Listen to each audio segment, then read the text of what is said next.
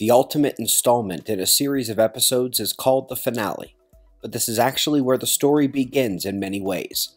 The story of the catastrophe is yet to be written, perhaps with many of us as co authors in the process. While this is the final episode, the full movie compilation is coming later this year and will include updates and new material relevant to nearly every episode along the way. It is also the starting point of the current and foreseeable future genesis point of observation of the catastrophe, the Sun. If we could only see beneath to the interior of our star, her secrets might not be so well hidden. What lies beneath the plasma surface? What sort of currents and fields and cycle driving activity might be found? What we know for certain is the current dynamo models are just best guess theories, and that there is nothing about a nuclear engine that should produce certain cycles we know to have excellent harmonics and synchronizations.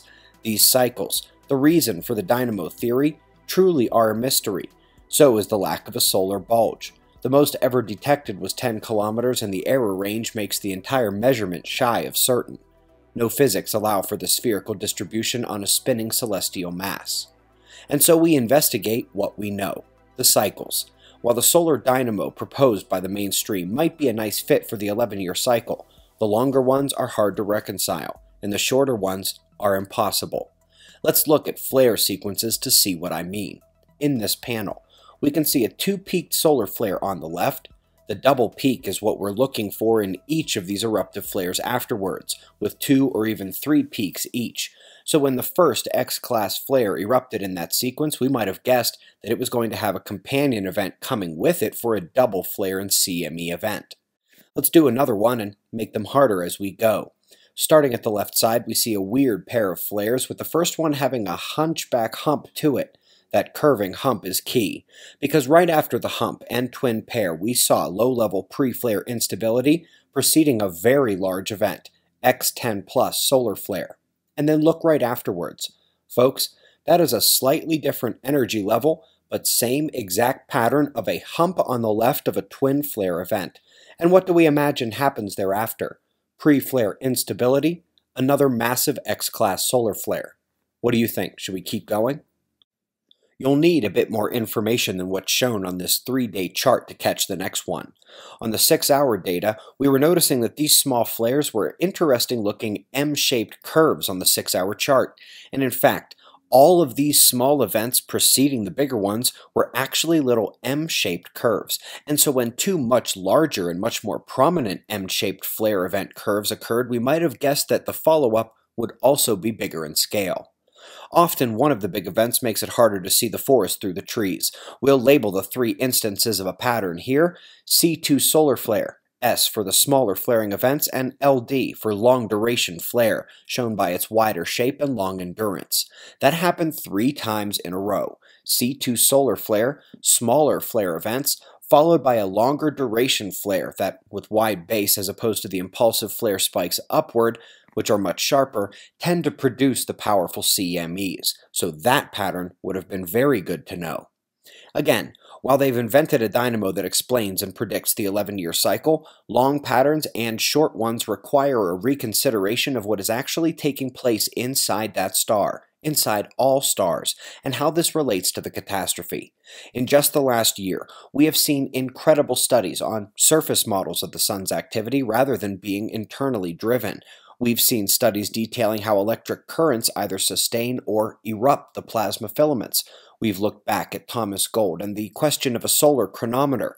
The studies have shown that our sun can superflare, and so do many other sun-like slow rotators. And of course, there is the evidence potentially pointing to a long-period solar event that all requires an explanation, all finding tension with the mainstream idea of a steady, quiet sun.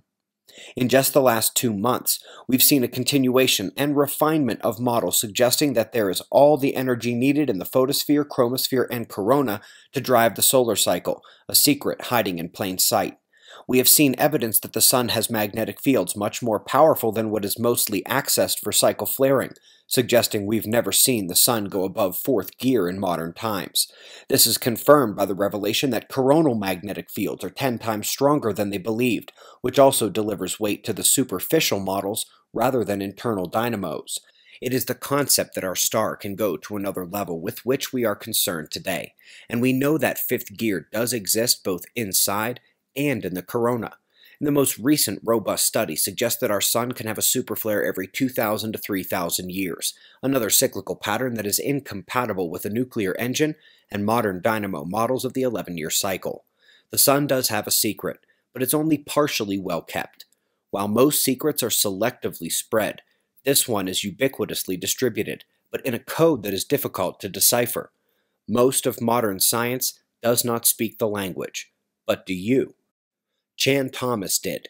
I have now reviewed seven different copies of the more than 200 page 1993 version sent in by various keen observers out there among you, and in addition to comparison matching and ISBN verification, it is clear that this real book after 40 years of studying the catastrophe, contains Chan Thomas finally landing on the sun, in an addendum which you can tell was to be an addition to the next edition had he lived to write another one, suggesting the cooling down in grand minimum, cooling too much at the surface, and then explosive reignition.